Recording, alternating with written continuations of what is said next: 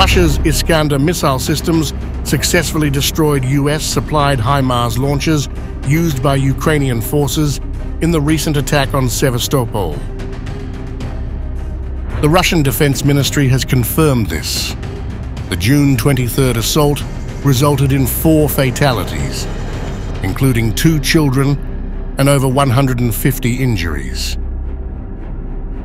The ministry released footage purportedly showing the destruction of the M142 HIMARS multiple rocket launchers, which were allegedly equipped with ATACMS missiles. These launchers, according to the ministry, were employed by Ukrainian forces during the strike on Sevastopol. Unmanned aerial vehicles from the Russian armed forces reportedly detected the movement of three HIMARS launchers, which had taken concealed positions in a forested area near Klapaya in the Kherson region. The Iskander missile crews then targeted and destroyed these positions, eliminating three launchers and up to 10 foreign specialists involved in their operation. The Ukrainian forces' attack on Sevastopol involved ATACMS missiles with cluster warheads, supplied by the US, while four of these missiles were intercepted. One was deflected and detonated over the city, causing significant casualties and damage.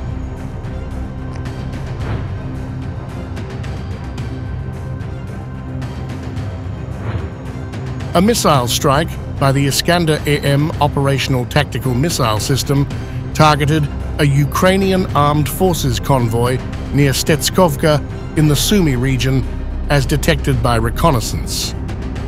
The strike reportedly resulted in the destruction of an AFU artillery ammunition depot, 20 military vehicles transporting ammunition and personnel, and the deaths of up to 65 AFU soldiers.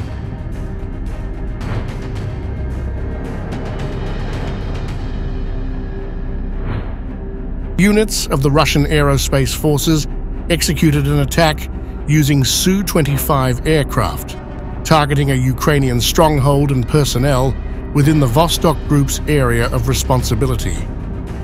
The strike, conducted with unguided aircraft missiles at specified coordinates, involved anti-missile maneuvers and the release of heat traps before the aircraft returned to their base.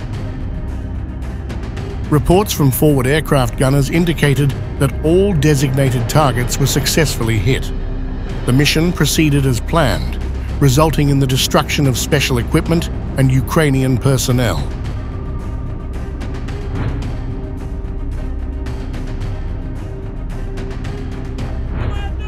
Reuters reported that the US has acknowledged that it had approved Ukraine's request to use US-supplied weapons for strikes on Russian forces, with the condition that these strikes would be limited to border areas such as Kharkiv.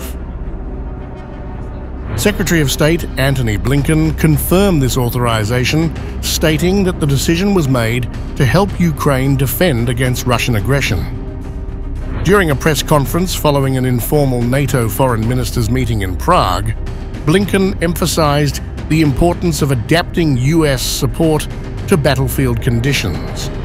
He stressed the need to provide Ukraine with necessary systems, weapons, training and capacity building to ensure effective use and maintenance of the supplied armaments. Blinken also highlighted NATO allies' increasing efforts to support Ukraine, noting recent commitments from the Netherlands and Germany to supply additional Patriot air defense systems. Furthermore, he mentioned the Czech Republic's initiative to form a coalition to urgently supply artillery shells to the Ukrainian armed forces.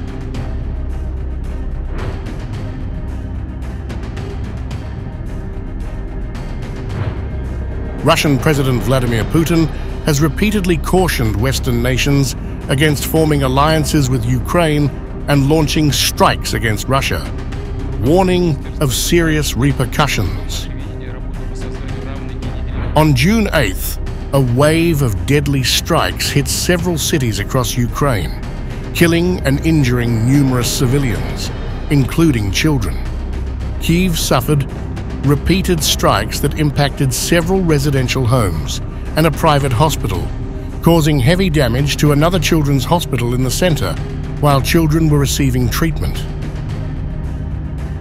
Ukrainian President Zelensky reacted to the attack, which coincided with Indian Prime Minister Narendra Modi's two-day visit to Russia. In a post on X, accompanied by pictures of the Kyiv attack, Zelensky criticized the meeting, stating it was a devastating blow to peace efforts. He expressed his dismay at seeing the leader of the world's largest democracy embracing a criminal in Moscow on such a day.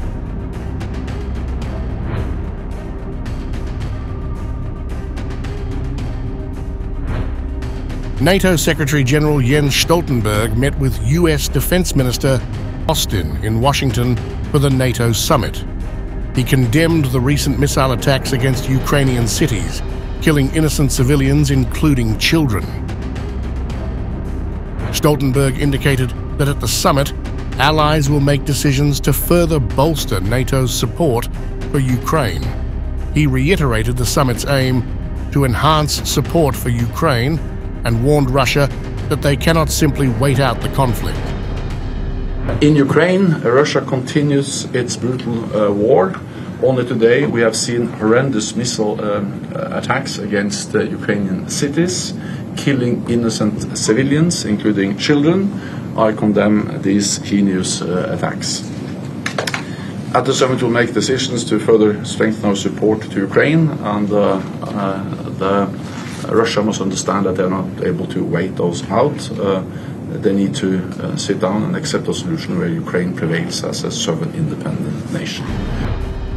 This brutal incident occurred just a day before NATO leaders were scheduled to convene in Washington to demonstrate their solidarity with Ukraine. The attack is widely seen as a stark warning from Russia against continued Western support for Ukraine.